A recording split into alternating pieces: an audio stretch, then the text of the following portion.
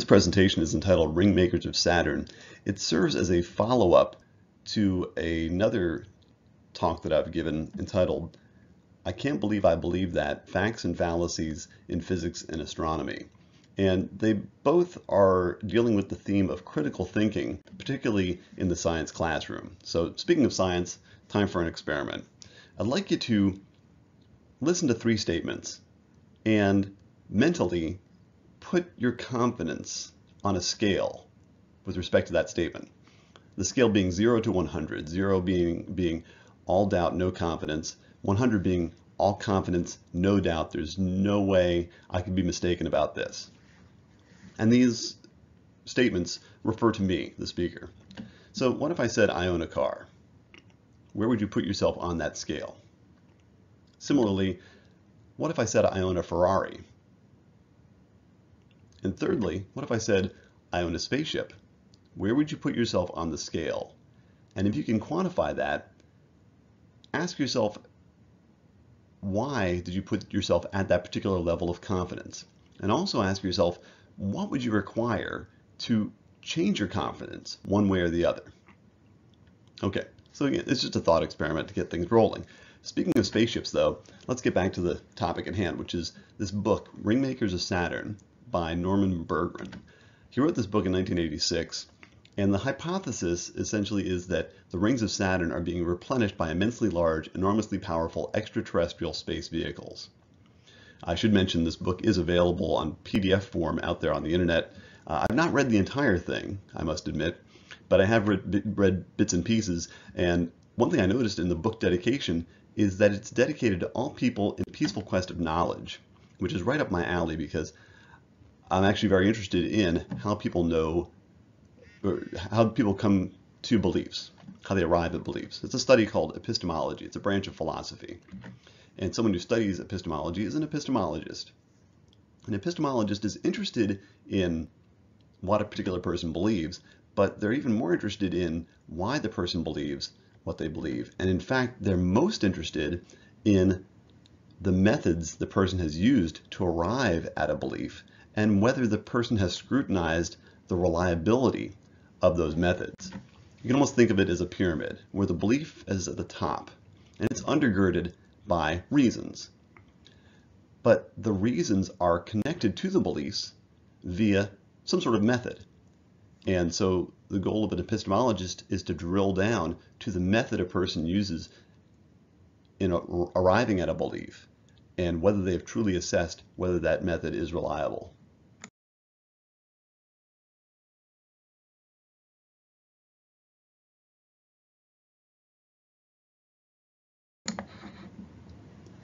Okay, so to examine the epistemology of Norman Bergrun, uh, I might propose a couple of questions. First of all, we would ask, what is his level of confidence in his belief? The belief being that aliens are replenishing the rings of Saturn. Could he put it on a 0 to 100 scale? Would he be willing to? And if so, if he can quantify it, then what are the reasons that he would offer for his level of confidence? Now, I don't have him in studio. Uh, I've never communicated with him directly. So the best I can do is to find stuff on the internet, things that he's either written or said, uh, to try to establish what his answers might be to these questions. About your theory about the rings of Saturn and how this all came about. Okay, uh, really it's not a theory. When you get down to it, um, you see some pictures and you finally come up with a conclusion as a matter of fact. Uh, how I got started was that um, uh, in 1980, you know, Voyager 1 uh, uh, had a close encounter uh, with Saturn. And then in August of 1981, uh, Voyager 2 had a similar encounter. And that was only nine months apart. And I'd made copious notes on each one. And when I compared them, why, um, there are great changes. Uh, a couple of examples are that uh, in the Cassini division, I guess we should explain here that there are four major rings in the ring system A, B, C, and D. And between the A and B ring, there is a division called the Cassini division. Uh, that was supposed to be pure space. And uh, on Voyager 1, it looked like that, but on Voyager 2, it was filled with matter. and that came as sort of a surprise, Mhm. and it wasn't in the script. Notice in the interview that he he seems pretty confident. You know, he says it's not really even a theory; it's a fact. So, how, you know, if I were to to interpret that and put him on the scale, he's pretty close to 100. It seems he seems very confident in the truth of his belief. Um, so then the next question is, what reasons might he give for being so confident? And certainly it seems that he would appeal to the imagery.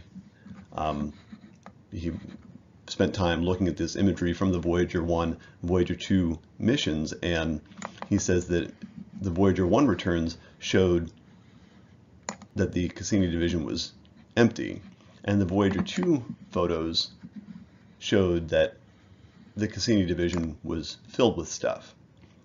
And so he would point to the imagery uh, in support of his belief, but he also seems to be appealing to a second belief, which is that NASA is aware of this discrepancy in the imagery and that there's some sort of a cover-up. There's some sort of a conspiracy. They're aware of it, but they're not going public with it. So it seems like that's also uh, a reason why he seems to believe that aliens are replenishing the rings of Saturn.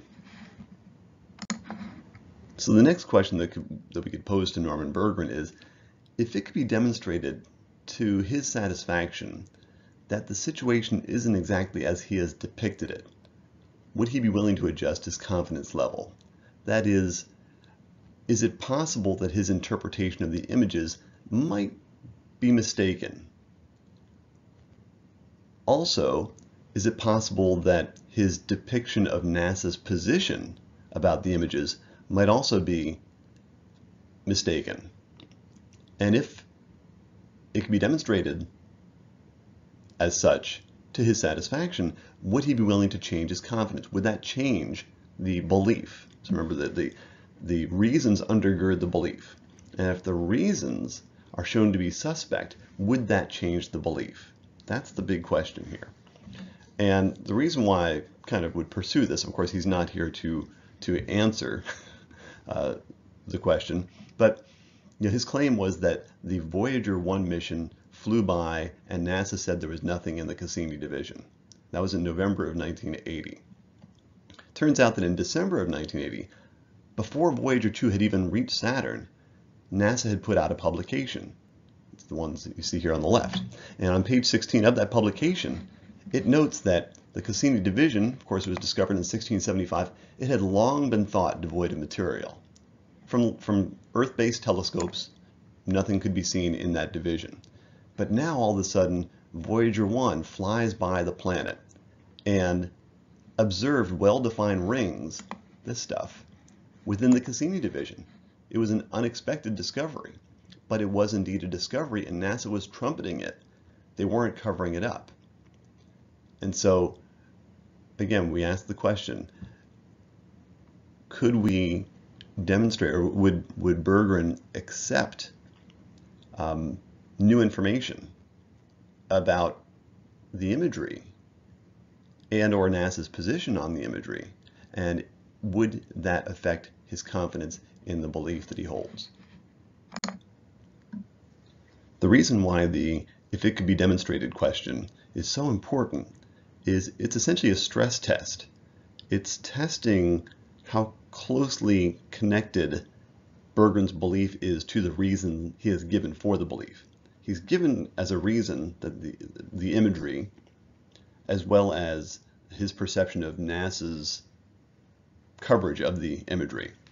Um, but, you know, so that's his stated reason, but is that really the reason why he believes what he believes? Because if he is presented with new, presented with new information about the imagery or NASA's position, if that fails to cause him to change his level of confidence, then the imagery or NASA's position doesn't seem to be the real reason for his belief. Another way of asking that is, you know, should someone else believe it for the same reasons that he's believing it? Because it seems that his stated reason is not the real reason why he believes it. You know, if it is, if, if it is indeed the imagery or NASA's position, we could go on and pursue talking about the imagery and what was seen when and that sort of thing. But if he's not willing to change his level of confidence, then he must be must be believing for another reason, and that the imagery is not worth debating. NASA's position is really not worth debating. There's another reason why he believes what he believes.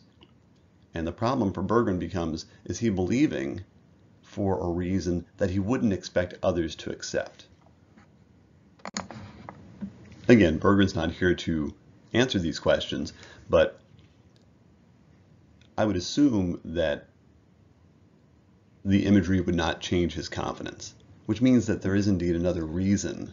The imagery is not that important. There must be another reason. And so I pursued. I, I looked at some other writings to see if I could tease out another reason why he might hold this belief. And actually about a decade before the Voyager stuff, from 1971, Bergrun was uh, vacationing near Monterey, California, and he saw something strange in the sky.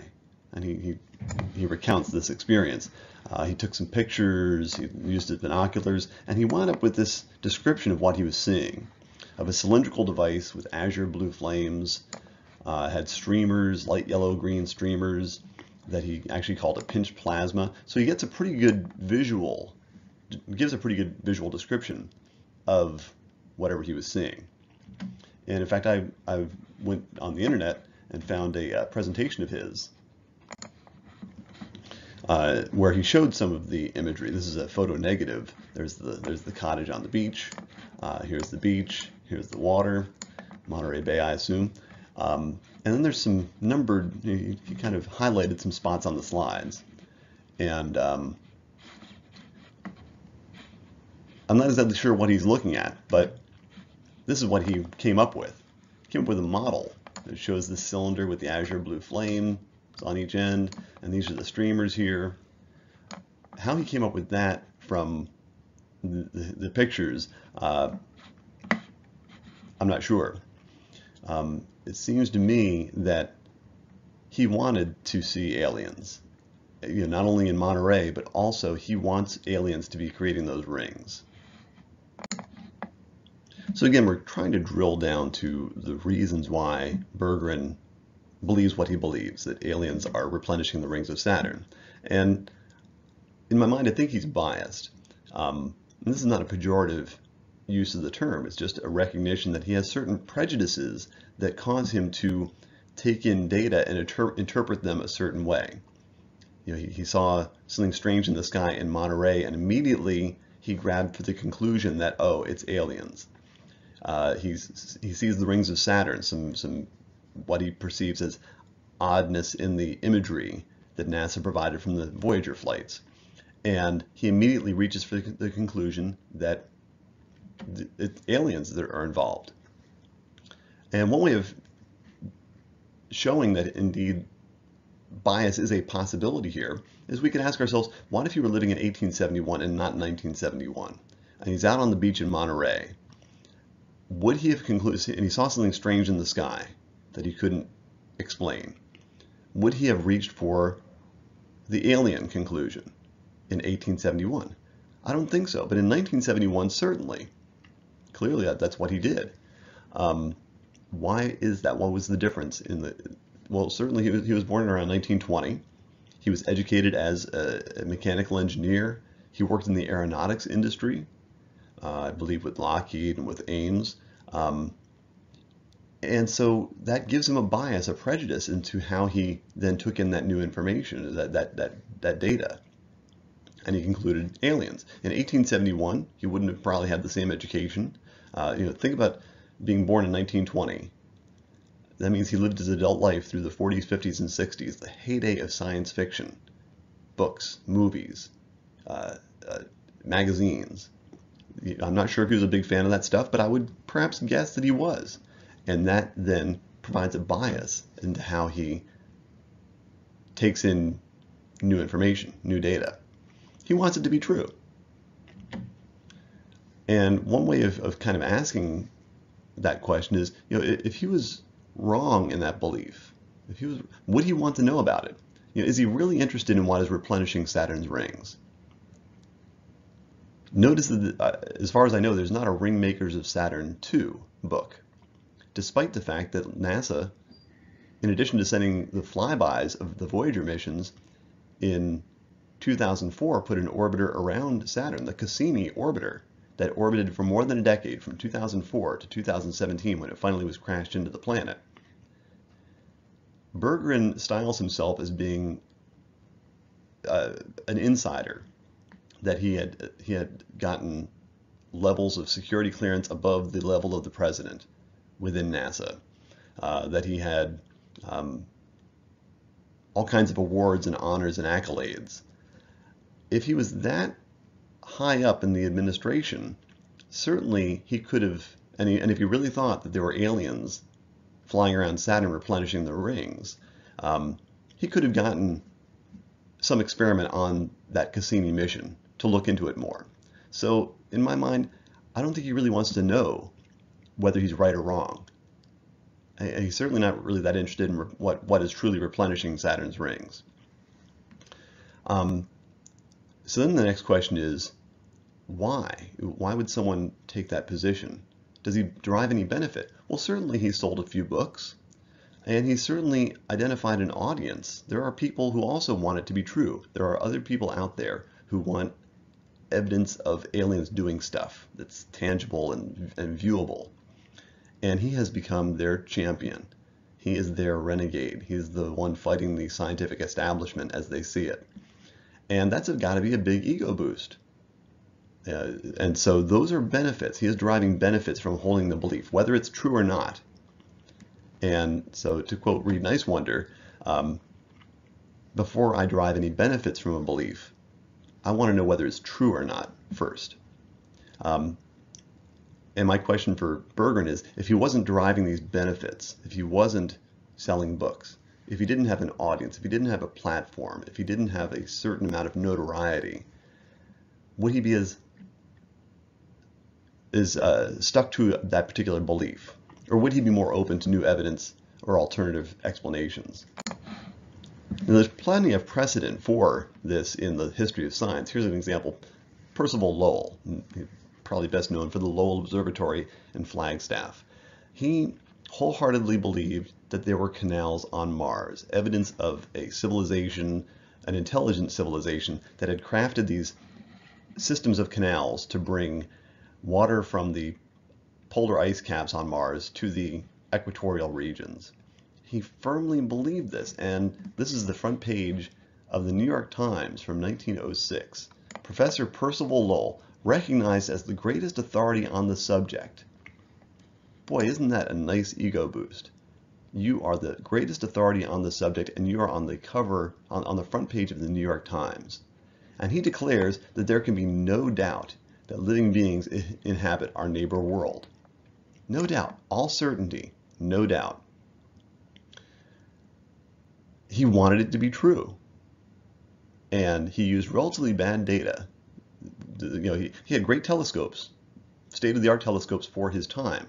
But the fact that he wanted it to be true so bad affected how he took in the evidence or the data from his observations. There were plenty of other astronomers using equally good equipment at the same time who said there's no way that Lowell was seeing what he was seeing. And yet they were not the ones on the cover of the New York Times. So he was certainly benefiting by virtue of notoriety for holding a relatively low probability kind of belief. It's worth noting at this point that both Lowell and Bergrun despite the fact they have scientific training and both speak the language of science, they're really not doing scientific research here. They're not following the scientific method in coming up with the explanations they've come up with. Well, why is that? Why do I make that assertion? Uh, both Bergrun and Lowell have, I, I use a rock climber analogy, they have reached for handholds based largely on their own biases and prejudices. Lowell thinks there's canals on Mars, crafted by aliens. Bergrun thinks that the, the rings around Saturn are being replenished by aliens. again, their own biases and prejudices, their wanting it to be true, has caused them to take in relatively sketchy data and come to this one particular conclusion, this one explanation for these phenomena. That's not the way science works. A scientist looks at the entire wall and looks at the different possible handholds and asks the question, which one is more likely? And the problem with Bergrun and Lowell is because they did not really assess their own biases and prejudices, but rather they immediately grabbed onto one conclusion to the exclusion of any of the other possible explanations. Now they're left with that one handhold, which you know, even when it feels perhaps shaky, even if they did, uh, if some pressure was applied, they would desperately try to hold on to that one handhold by applying gum or wrapping tape around it or something like that, rather than changing their confidence or perhaps discarding the explanation entirely. They're not doing, they're not using the scientific method because the scientist says what's more likely, and and by what's more likely that really that's synonymous with what's more testable. Which of these possible explanations could we actually test? What would we require? Kind of new information would we require in order to cause a change in the confidence scale? And where Bergrun and Lowell are stuck is that there's nothing they can learn or find out about their particular explanation that would cause them to go one way or the other on the confidence scale. They have posited explanations that are not testable, and ultimately those explanations have no value. I'll go back to the statements that I introduced earlier. Again, what's more likely, that I own a car or I don't own a car? What's more likely, that I own a Ferrari or that I don't own a Ferrari? What's more likely, that I own a spaceship or that I don't own a spaceship? And what would you require to change your position on any of these statements? Now, of course, these are pretty low, low stakes. You, you don't really care. You're not invested in whether I have a car or not. If I if I show if I drove up in a car, you would probably increase your confidence. If I walked every day to work, you would decrease your confidence in whether I owned a car or not. You'd be very willing to change your level of confidence because you could really care less. The question is, why do we not show that same flexibility in our beliefs and our confidence when it comes to beliefs that are a little bit higher in, in stakes, those that play a part in our identity, uh, those that have to do with our social or family standing or, or our relationships. You know, why is that? Shouldn't all ideas be equivalent or be subject to equivalent questioning? So of course this talk focused on Norman Bergrun and his book, The Ringmakers, Ringmakers of Saturn. But I encourage you to extend what you've learned, some of the critical thinking skills that I've modeled here, and choose a, belief of your own, something that you've thought for a long time to be true, and interrogate that belief. Ask yourself, you know, what are the reasons why I believe this? Um, what methods have I used to arrive at this belief? And have I really tested the reliability of those methods? And, and answer this question. Now, as sort of an epilogue for, for those who, uh, who've made it this far, wanted to mention, again, I don't get too much into credentials, but I did notice in doing research on Norman Bergrun that his credentials seem to matter a lot to those who believe in Norman Bergrun. And this is just one example. You're, you're welcome to, to check out this link or any others. Just do a Google search on Norman Bergrun, and you're going to find a lot of websites that trumpet Bergrun's background. Uh, the particular one that I've got the, the, the address here for is titled NASA engineer Dr. Norman Bergrun warns alien UFOs are proliferating on Saturn. And the first line is according to claims from a top Ames, NACA, NASA, and engineer, uh, Lockheed Martin, alien UFO spaceships are proliferating on Saturn's rings, etc., etc. The, uh, the article itself, uh, in almost every paragraph, mentions his educational or work background. Well, as I started to look into it, I noted that his doctorate, Dr. Norman Bergrun, uh, his doctorate is actually just an honorary one. He got it from the World University, which turns out to be an unaccredited institution that appears to be defunct since 2003. So again, those who believe Dr. Bergrun wholeheartedly seem to put the reason why they believe that this guy is legit is because of his credentials. So the question, again, we can do the same critical thinking thing. If it could be demonstrated to, the, to those people's satisfaction that Bergrun may not be what he claims to be, would that change their level of confidence in Bergrun? Um, his, he also has a law degree, which I think he got in 1955. It turns out it was from LaSalle University Extension.